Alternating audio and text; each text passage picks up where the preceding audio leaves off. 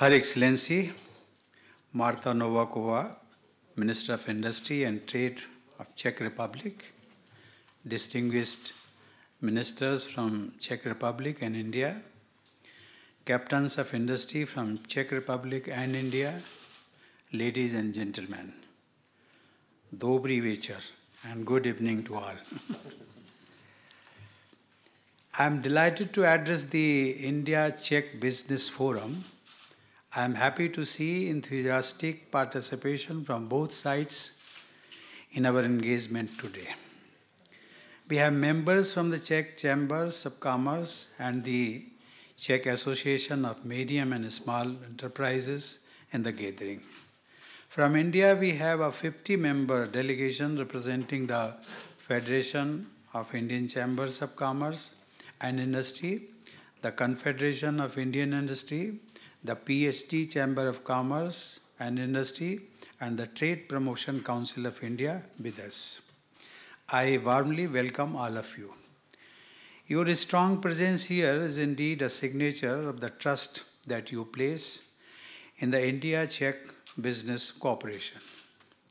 I understand you have had a fruitful day of engagement I am hopeful that our economic ties will get a boost from your business deliberations today. India and the Czech Republic are two ancient civilizations. There was a flourishing trade in spices between India and the Kingdom of Bohemia as early as the 9th century. The Czechoslovak consulate opened in Bombay in 1920, even before India's independence. The Bata Shoe Company was founded in this country, but its widespread presence in India compels us to consider it our own. Such early and rich history of engagement can only inspire us to be more optimistic of the future of India Czech trade and investment relations. Today, I had meaningful discussions with President Zeman on taking forward India Czech multifaceted relations with a special emphasis on our economic ties. We are both convinced that there is immense potential to take the relationship to a higher level. We consider the Czech Republic as a leading economic partner. India's growth story and Czech technological expertise and manufacturing prowess make the two natural partners. India is the fastest growing major economy in the world, with a growth rate of 8.2% last quarter. We have undertaken an ambitious plan to build next generation infrastructure, including smart cities, airports, high speed trains, highways, and cyber connectivity. There is a rapid growth in construction of national highways, and there are ambitious plans to develop more than 100 rivers as national waterways. These open up immense opportunities for our international partners. We have also undertaken bold reforms to boost our manufacturing sector and Make in India initiative. A major reform is the introduction of goods and services tax. This has fulfilled the dreams of 1.3 billion Indians to have one nation, one tax, and one market for the first time. Both the central and state governments have undertaken measures to make it easier for businesses to be established in India. These reforms have helped India jump 42 places in the World Bank Ease of Doing Business Index. Our business friendly policy has allowed foreign direct investment worth US dollars 60 billion to flow into the country in 2016-17. India has recently become the sixth largest economy in the world and is poised to be a $5 trillion economy by 2025. The Indian growth and demand, complemented with a large consumer market, offer huge business opportunities and scope for investment. Our flagship programs, including Swachh Bharat, that is Clean India, Skill India, Make in India, and Digital India offer immense prospects of, for Czech companies to join the Indian growth story. Our economies have significant complementaries which can be leveraged for mutually beneficial cooperation. Indian companies have achieved expertise in the fields of IT, infrastructure, pharmaceuticals, automobiles, and services. India offers market for scaling up strength of Czech companies in heavy engineering, defense, advanced manufacturing, automotive, and energy fields. I also see a lot of scope for India, Indian and Czech companies to engage in new age technologies and join hands to reap the benefits of the fourth industrial revolution.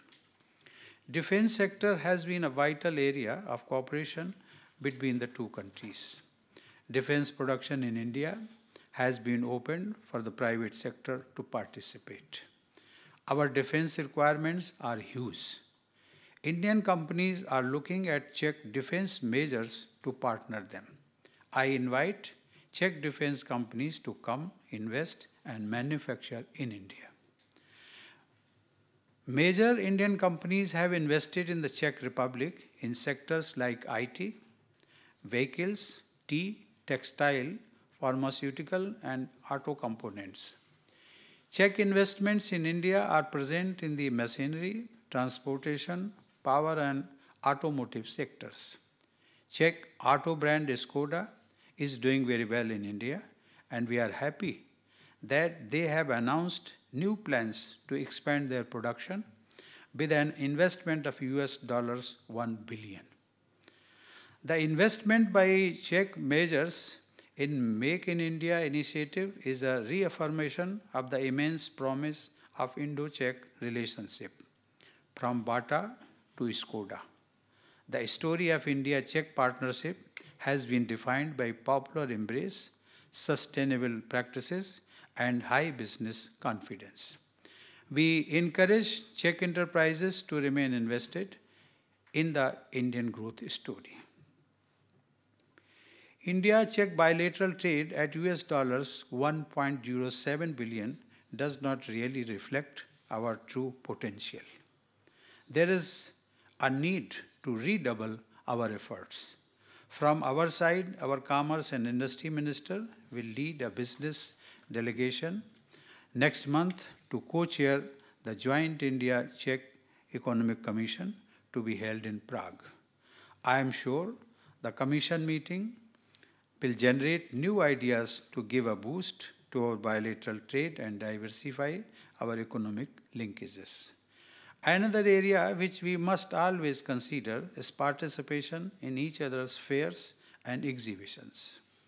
India's participation as a partner country in the prestigious MSV International Engineering Expo in Brno uh, last October reciprocated by Czech Republic's participation as a partner country in the International Engineering Sourcing Show in Chennai this year has resulted in new business openings for the two sites.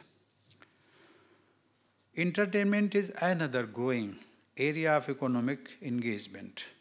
A number of Indian and Bollywood films have been shot in the Czech Republic. This has led to increased tourist flow from India to this country. Ladies and gentlemen, soon, on 2nd October this year, we will be launching our worldwide celebrations of the 150th birthday of Mahatma Gandhi, the father of our nation. I am given to understand that the government of Czech Republic would be issuing commemorative postal stamps to mark the occasion. I thank them for this special gesture. The Indian economy is a dynamic story. We urge you to explore, initiate, and expand your footprint in India. Indian companies are also keen to invest and establish new business tie ups here. I invite you to partner us in India's exciting and transformative journey, which is going to usher in a new era, not just for India and the Czech Republic, but for the entire world. Dokuji vám. Thank you.